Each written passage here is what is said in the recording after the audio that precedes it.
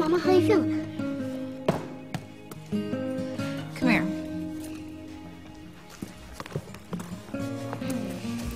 What was that you were saying the other day about wanting to see snow? Well, Aunt Brooke said it's snowing in Utah, and that's where Julian's movie is playing, and everyone's going. Oh. Everyone, huh? Yeah. Hmm. Maybe you should try this on. Yeah, I don't I don't want your ears to get cold in the snow. You mean we can go? Oh, I gotta tell Dad. Jamie, Yeah. I love you. I love you too.